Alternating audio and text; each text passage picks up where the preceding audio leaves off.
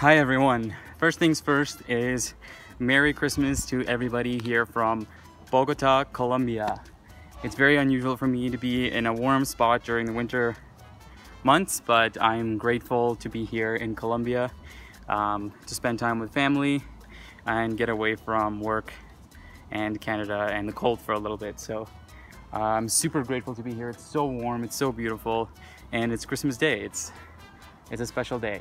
Um, and you're all here because um, I found a stainless steel Submariner uh, here at the ADs sitting on a shelf. Um, whenever I travel, I usually try and make it a priority to visit a few ADs, ask a few questions, see what the market is like here. Um, and to be honest, I wasn't sure what I was expecting here in Bogota, Colombia. Uh, one thing's for sure is that people in Colombia love big watches.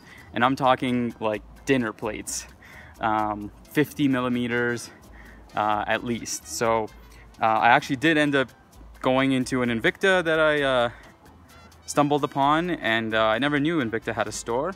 I was just checking it out and um, they certainly love their huge watches. Uh, but then I stumbled upon a Rolex um, authorized dealer. And sure enough, I walk in there. There wasn't too much selection to be honest.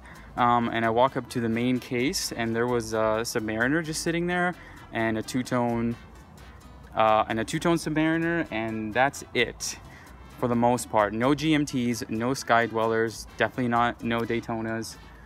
Um, and surprisingly, not that many Datejust. I was looking for a Datejust uh, with a Jubilee bracelet, fluted bezel, and um, silver dial and uh, stick hour markers, but they, they barely had any. And people seem to, to be buying the Datejust there, I guess.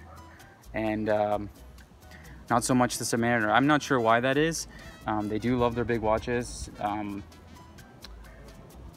and so I was surprised to see a Submariner there, but they had it. It was uh, 9,200 US dollars, um, which translates to about actually 12,000 Canadian.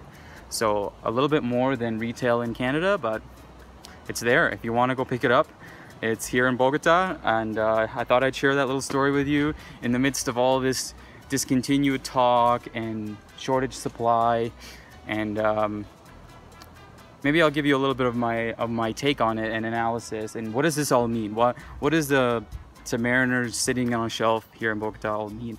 Well nobody really knows you know. I'm not an expert in marketing. I don't work in the watch industry and Rolex is known to be very very secretive so nobody really knows what their plan is how they do business how they um, move inventory but I think they're they're going off of one basic um, psychological principle, and that is people want what they can't have.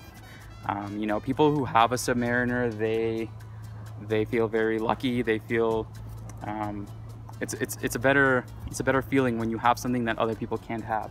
And if you don't have it and you can't get it, then it makes me want it even more. So I think that is their motto. That's their marketing strategy. Anyways, Merry Christmas, everyone, and we'll see you in the next one.